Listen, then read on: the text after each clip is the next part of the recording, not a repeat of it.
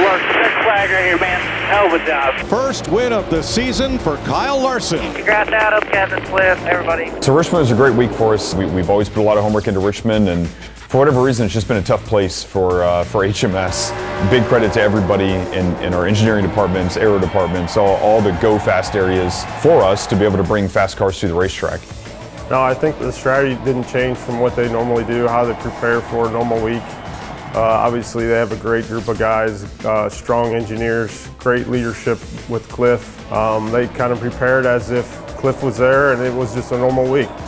It's definitely nice having a, a guy like Kevin Meendering and, and, all of our sub crew chiefs to be able to step in and, and, help us in a situation like that. I have a history with those some of the engineers on that team. I've worked in the past. I've worked with Cliff in the past. So it's not like I'm coming in there and trying to take over. It's just trying to fill whatever voids they need me to, to step into and uh, just kind of let them do as they always do. Um, you know, for us, it was a bit of a team exercise. So uh, I know what gets put out there. It's Kevin Meendering's voice on the radio. It's actually Adam Wall's voice on the radio. Adam is our lead race engineer.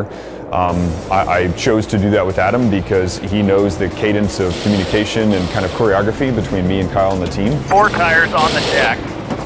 Fans off here.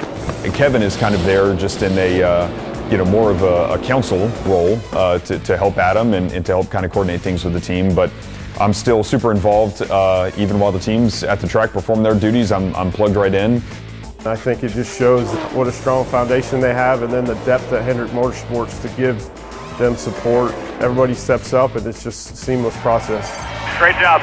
All good. We made it. It's his 20th career win overall, and it comes in his 302nd start. To have the win now, you know, it means a lot. A lot of people want to say that uh, you, you, get a win and, and now you're in the playoffs and the pressure's off, and, and we kind of see it opposite.